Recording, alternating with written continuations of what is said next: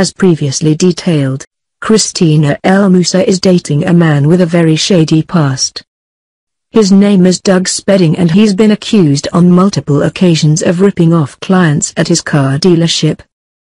But those inappropriate and possibly illegal machinations are not at the crux of Christina's latest issues with her new man.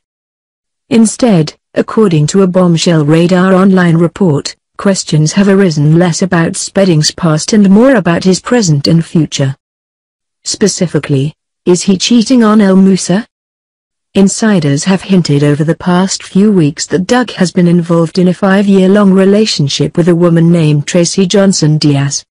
And now Radar alleges to have uncovered steamy text messages between Doug and Tracy, the type that someone in a serious romance should most definitely not be sending to anyone who isn't his girlfriend. To wit. In another, she asks if the two are going to bed so she can figure out what to wear. It's unclear just when these texts were sent and, to be clear, we can't verify for certain that Doug sent any of them. As you can see above, the screenshots posted by Radar don't have timestamps on them or even names affixed to them. They could literally have been sent by anyone at any time. We can say for sure, though, that Spedding was arrested years ago for meth possession and also for violating a restraining order against his ex-girlfriend.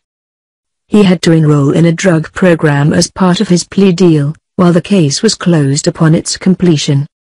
Christina, of course, shares two young children with estranged husband Tarek El Moussa. The two separated just over a year ago, following an explosive fight that concluded when Tarek grabbed a gun and stormed out of the house.